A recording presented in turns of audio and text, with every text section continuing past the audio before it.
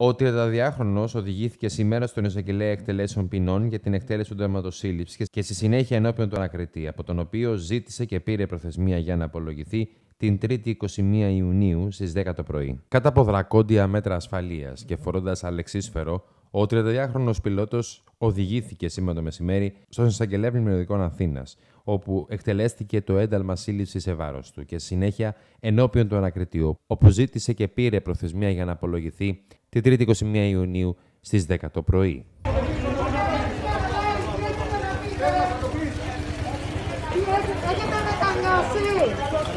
Τι έχετε να πείτε στην μητέρα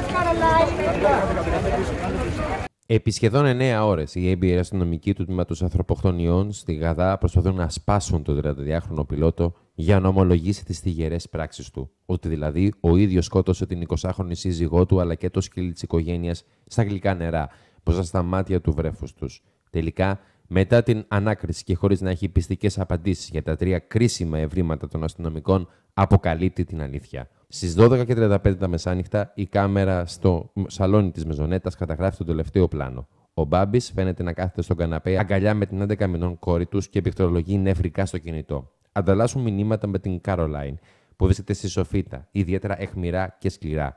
Στη 1 και 20, ο πιλότος βγάζει την κάρτα μνημή από το καταγραφικό και πέφτει μαύρο. Στις 4 και 1 λεπτό, το smartwatch της κοπέλας δείχνει έντονη παλμική διέγερση. Από εκείνη τη στιγμή και για 10 ολόκληρα λεπτά της κλείνει το στόμα και τη μύτη και εκείνη σπαρταράει μέχρι τελικά να ξεψυχήσει. Μέχρι και το σκύλο της οικογένειας σκότωσε. Όλη η Ελλάδα παγώνει μαθαίνοντας τις λεπτομέρειες. Στην κηδεία της Καρολάιν, ο σύζυγος και φερόμενο θύμα της ληστείας κατά στην αγκαλιά του και δεν αποχωρίζεται το 11 μηνών παιδί του.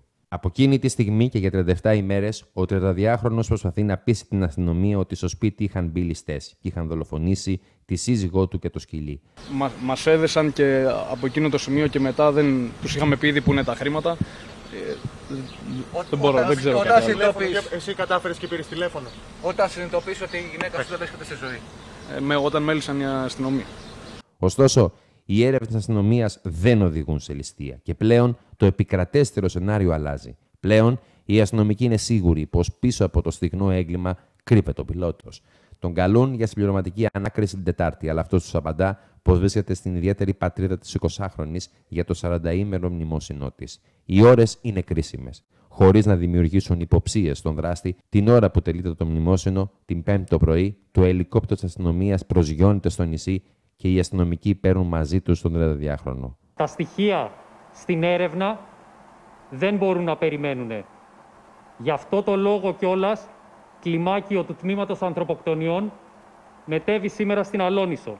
Ο 32χρονο για πρώτη φορά πέφτει συνεχώς σε αντιφάσεις και τελικώς μετά από ώρες ομολογεί τις πράξεις του. Πλέον κατηγορείται για δύο κακουργήματα και δύο πλημελήματα.